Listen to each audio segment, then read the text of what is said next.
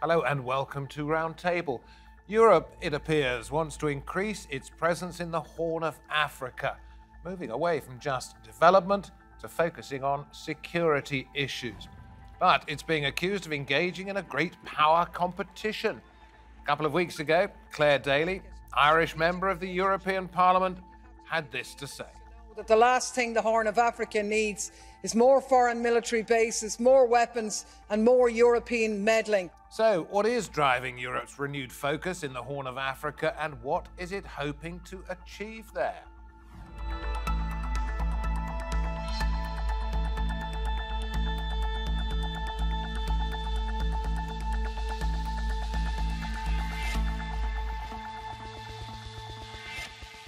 Good to have you along. I'm David Foster. The Horn of Africa has always attracted the attention of foreign powers, and Europe is no exception.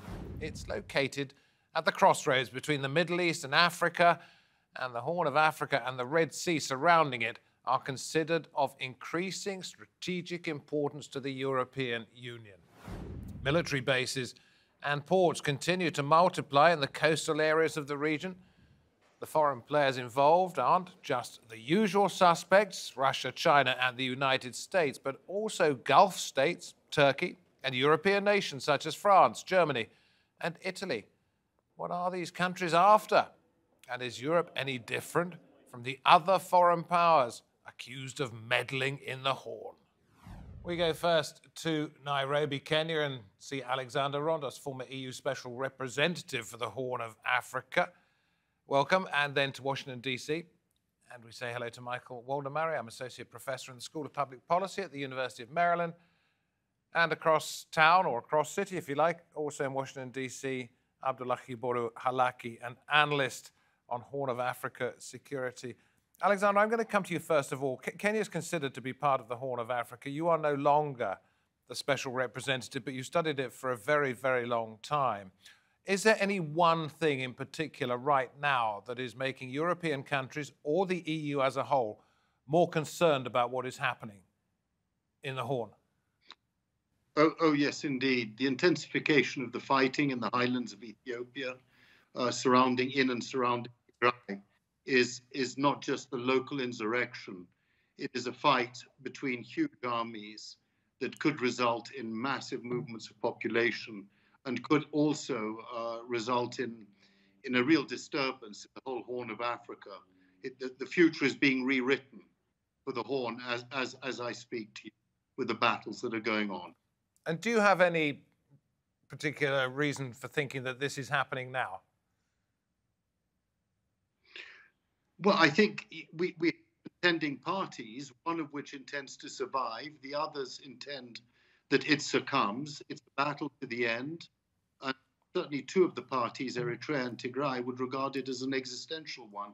So it, it's been brewing. This is the third round of fighting in the last three years um, one wonders whether any of the sides can continue to exhaust themselves further. The hemorrhage in blood and treasure is, is, is beyond imagination. Abdullahi, let me come to you. Security in the Horn of Africa speciality. We've heard there from Alexander, Eritrea, Tigray province, Ethiopia, the, the, the bloodshed that is uh, being spilled there. But there are many other countries across, across the Horn where, in particular, other than Ethiopia and its surrounds, do you see problems? I think Somalia still remains one of the biggest net exports of uh, conflict in the region. You know, the presence of Al Shabaab, as we speak right now, um, upward of 90,000 people are in Al Shabaab controlled areas in a region that is facing 40, almost 40 odd years um, of drought that we've not witnessed in the region. Uh, just like in 2011, 2012 drought that led to famine in Somalia, these people in Al Shabaab controlled areas are likely to die because a um, you know because of the very expansive, if not onerous, inter- uh, international counterterrorism uh, regime.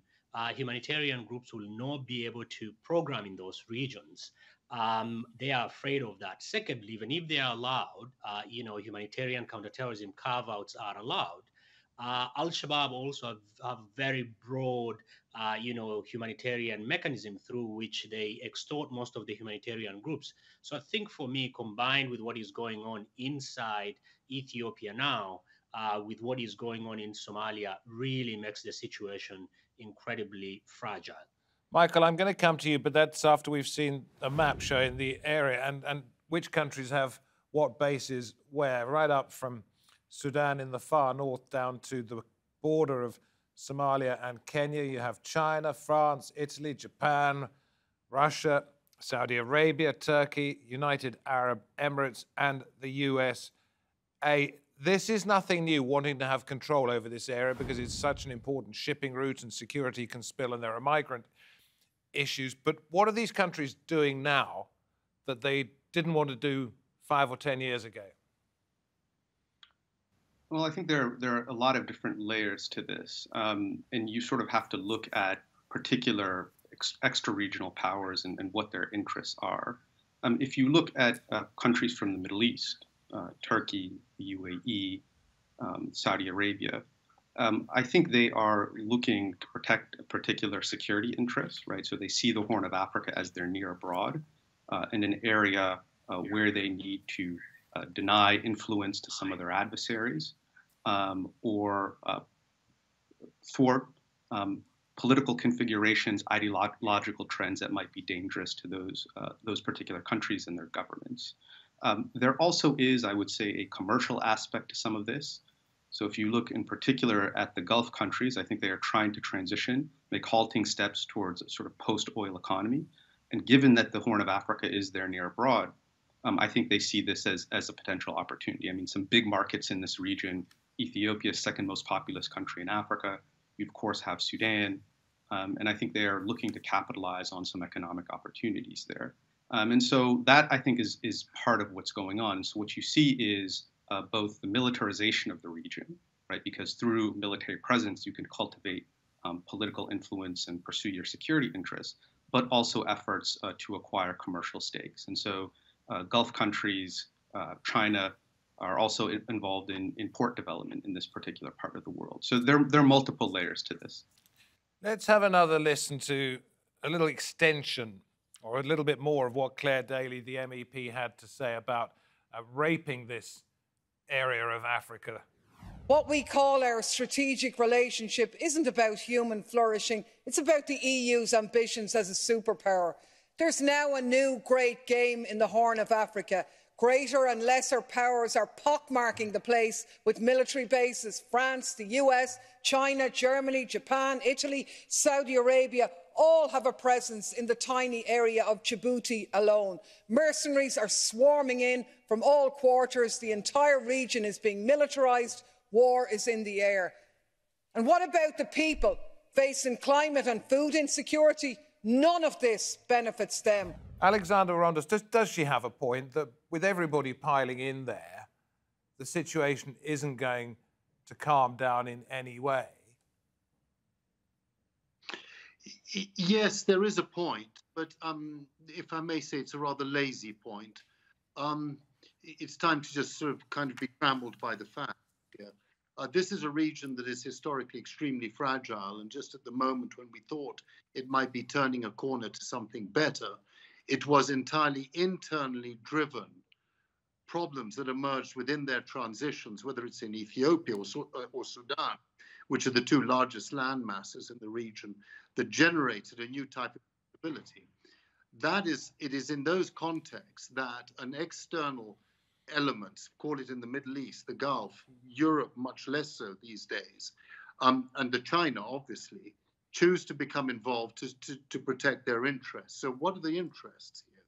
One is the Red Sea, one of the major trade routes. So, either it's, it's, it's a, a, way through which trade flows and has a huge significance economically, or it becomes a bottleneck because of instability on either side of the Red Sea. I mean, Yemen on the one, and then the whole coastline, that eastern coastline of the Red Sea if if you've got that, people naturally are attra- attracted to it. The question is the following: This region is not in itself politically coherent. Therefore, it tends to compete within itself very often and, and devotes less time to navigating its collective interests with an international community that has become, as we all know, much more fragile, fractious, and potentially competitive. So, the, the, the possibilities of a new scramble for this region, more by default rather than absolute design by any one power, is the problem. And can the region insulate itself from that, or does it just want to become a proxy, or do elements within the region want to become proxies for those powers? It turns into a rather messy marketplace. Well, you, you talk about how important it is, how busy it is. A tenth of global trade actually goes through uh, the Red Sea. Uh, 6.2 million barrels of crude oil. Instability, famine, war, we've gone through some of those, making migration a problem for, for Europe. And 140 million people fast growing economies and very young populations, for example, Ethiopia and Kenya. Alexander, I was reading an article that you wrote for a political magazine not so very long ago, in which you say if we manipulate Europe, we will get our fingers burned. On the other hand, we cannot let authoritarianism rule. By not letting authoritarianism rule, you are actually getting involved, manipulating, and you're doing exactly what you say shouldn't be done. The danger is that Europe will get its fingers burned, perhaps. It, the issue is manipulating in the wrong way. Either we establish a proper relationship with governments in Africa. I'm talking now as if I were back in my original position. I'm not. But it is about having a type of conversation with countries in Africa where one sees how does one protect one's interests and, and come to some arrangement. That's not manipulation. I, I, was saying that in a completely different context quite a few years ago. Um, this is about establishing a relationship between two continents, Europe and Africa, that are frankly joined at the hip. Um, and if they don't sort out that relationship between themselves on issues of security, but above all, on, on the enormous potential of economic cooperation, investment, and the like, I think it's a huge opportunity missed for both populations. And let me just conclude by saying on that Europe is an infertile society and static uh, and doesn't want to admit it.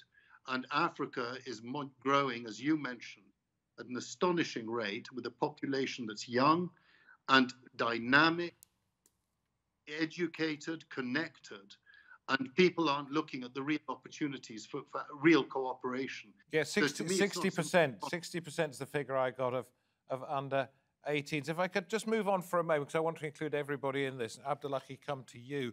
Uh, we pulled up that map that showed the various countries that are involved all the way up from Sudan down, down to Kenya. Um, give us an idea of the, the military side of what is being concentrated in that part of the world. Djibouti, one particular example. Do you, do you want to concentrate on that, or is that up to you? Yeah, I think over the last 20 years, I think that the primary lens with which Europe uh, looked at not just the region, but entire continent is through the lens of security. So as a result, you know, this small country, Djibouti, has had, you know, fortune or the misfortune of having a concentration of not just the fast power, you know, Europe, uh, Western Europe largely, as well as, you know, North America having their military bases. You've got China and all the rest. But the reality is sometimes when discussions are had about the relationship between Africa and Europe, or even with the United States, it is generally looked at as, as a um, why is African country having uh, a relationship with a third country? Uh, you know, over the last few years, it was China, and the sense was, um, although misguided, was uh, it was around you know the debt trap-led diplomacy, which the figures do not bear out. Now, increasingly, it's Russia, and then you know uh, the Gulf countries and the rest. The second one is does it dawn on most of the policymakers as well as analysts of the region that sometimes African countries also, including the Horn and even Djibouti, they are having this relationship based on their internal strategic calculation. You know, look at Djibouti. In the last election, the current president won by over 90%.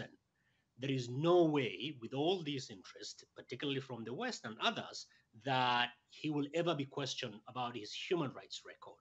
So I think he's making a very clear, you know, uh, strategic, if not personal calculation.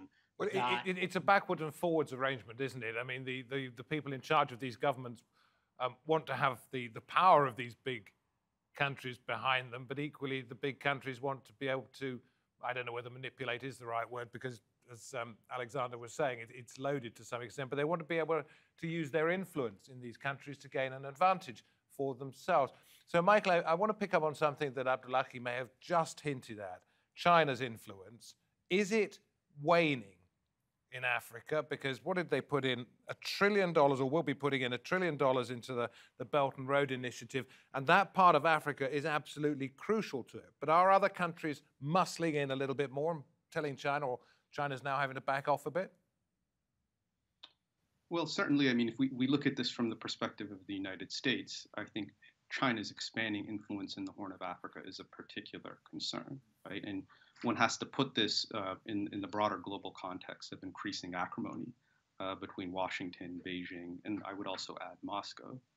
Um, and so, you know, for a considerable period of time, the United States was the primary geopolitical player in the Horn. It had the big base in Djibouti and all the relevant uh, military and security partnerships in the region.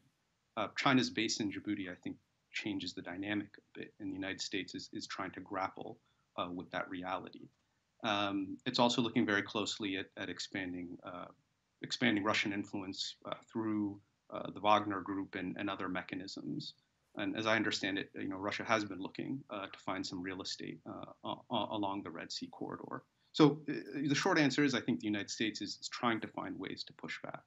Um, but then you've got other uh, players that I mentioned earlier that are relevant Turkey, the Gulf countries, um, who on some level may see China's expanding influence in the Horn as compatible with their own security and economic interests. But at certain times in certain places, it, it might diverge as well. Would they so rather have China than another big power? Well, um, I think uh, if we look, for instance, uh, at the commercial side of the equation, right, and we look, for instance, I'll give you an example, the Emiratis and their interest in port development in the Horn of Africa.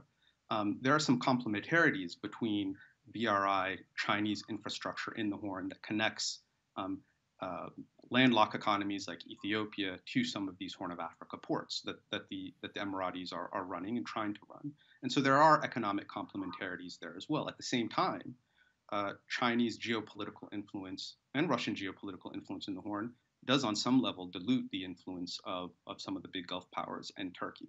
Um, so it, it's not all, uh, what I'm suggesting here. It's not all zero sum from the perspective of some of these Middle Eastern countries. Um, there, there are other calculations and complementarities that, that, are possible. Alexander, you're in Nairobi. You may know this chap, Dennis Munene, who's the executive director of the China Africa Center in Kenya. I've been reading something that he put out for um, the China Daily within the last couple of weeks. And I want you to look at this and tell me whether, in fact, it's, it's an honest assessment or whether you would have a wry smile at this one sentence. Having already established the outlook for peace and development in the Horn of Africa, China is poised to offer its assistance in terms of food security to needing developing countries there. Is that um, a realistic assessment of what China's doing? But I think there's maybe a slight confusion between hope and reality. Um, it's it's much more complicated for China. They've invested heavily in this region, in this country, in Ethiopia. Um, debts have accrued. Managing those, uh, I think uh, China. Uh, if uh, my my feeling about China sometimes is that it, it reminds me of a bit like the old great colonial trading corporations.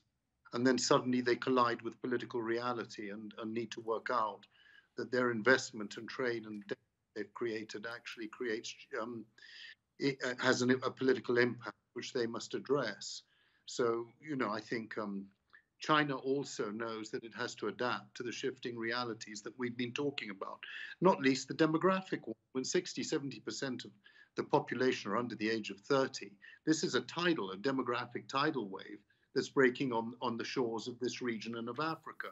And sometimes those who are less, uh, regimes that are less accustomed to dealing with vox populi and the, and the public sentiment are sometimes in for a shock.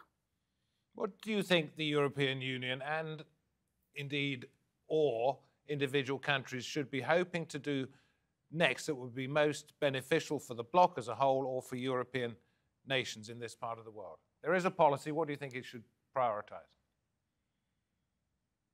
I invest economically. I don't mean development aid. I mean real investment. There's an entire generation uh, who will before long be taking over in, in Africa. Uh, align with them. Uh, because if you don't, they'll drift in other directions, whether it is like geographically, uh, ideologically, economically, or whatever. Uh, it's it's very straightforward. Invest in education, invest in the growth of business. Around that, those will be the drivers of the future decision makers and decision making. It sounds a bit general, but that's what it is. Um, aid per se is fine, but it is not a strategy. Okay, Abdullahi, back with you in just a moment to sort of help round off the program. But Michael, I want to come to you at this particular point. Alexander says invest in the younger people in Africa, make sure it's economic investment. But European countries at the moment are all rather strapped. So is this a priority? Well, I think you always have to keep the long-term picture in mind, right? And I think investing in in these countries and their, their societies and their young people is, is important. Um, but I'd also add, I mean, I think that the particular policy conundrum right now uh, for extra-regional parties as it relates to the Horn of Africa is is resolving some of the major uh, political and security crises in the region. I think um, as Ambassador Rondos alluded to at the beginning of this program, I think the, the crisis in Ethiopia looms particularly large. I, I don't think there is a path uh, to regional peace and stability without resolving the crisis in that very big and important country. Uh, and then, of course, you've got the, the effectively thwarted transition to civilian rule in Sudan. I think a lot of effort needs to be put around resolving those twin crises, um, and then and then move to I think the longer term picture. Okay, Abdullahi, let me come to you. Um, we were hearing from Alexander about China having a lot of countries indebted to it, but having somebody owe you money is a price you're willing to let them pay so that you can have influence over them when it comes to arm twisting. So that's China's position. It may be the position of other countries as well. And then we also heard the idea of investing economically in young people, giving them prospects, which may be the other side of the same coin. Uh, who appears to be winning here? I think the reality, I think, if we look at it from purely an African point of view, none of them, it's it's neither of them. You know, you need the Chinese for the hardware, because a lot of the time we fail to realize that there is a serious infrastructure gap in some of these countries, and those infrastructures are, re- are needed. I think the Western countries will provide the software. You know, you cannot have, you know, building of this infrastructure minus the trust and governance deficit, never mind, you know, the environmental impact assessment that needs to be done.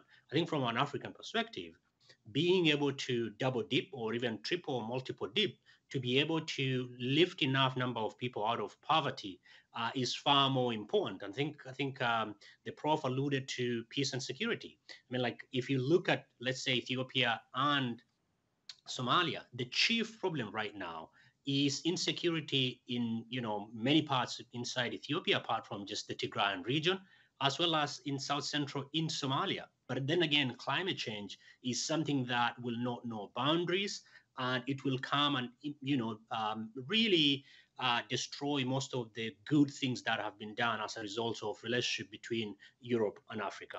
And is it possible for all of these vested interests to fit together rather nicely to make a rather peaceful jigsaw for that part of Africa and for the rest of the world by extension? It's not that easy, but I think it requires a great deal of courage. It requires a great deal of uh, creativity in terms of the policy environment. You know, trying to do these delicate dances will be critical. And I think sometimes, you know, Western countries forget the tremendous amount of leg up, let alone the use of the language, you know, a critical mass of educated people in Western countries, particularly in Europe. But the European countries look at this as a zero sum game. China gains, we lose. If Gulf countries gain, we lose. No. Western countries have got tremendous amount of leg up. Most of these countries at least have elections. They might not be free, fair, and you know truly democratic. they have a core of leaders and many who would want to come and study in some of these countries. Thank you. Thank you. I'm going to stop you there. We could talk for hours, days. Thank you very much indeed. Maybe we will on another occasion. Great to have you from Kenya, Mr. Ambassador. Great to have you, Professor. And Abdullahi, thank you very much indeed, both of you from Washington, D.C. Wherever you happen to be watching this edition of Roundtable, we thank you heartily for taking the time and showing the interest and hope you do so next time as well. From me, David Foster, goodbye.